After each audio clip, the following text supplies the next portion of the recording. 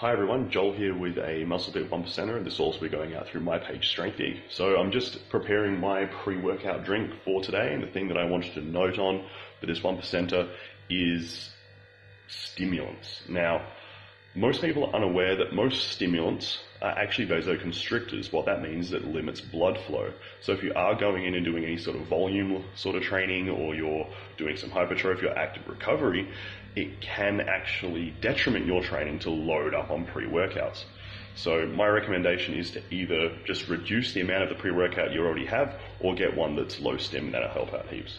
Today I've gone with just 10 grams of my pre-workout instead of 15 to 20 like I usually would since I'm hitting volume today. And that's an easy way to apply it.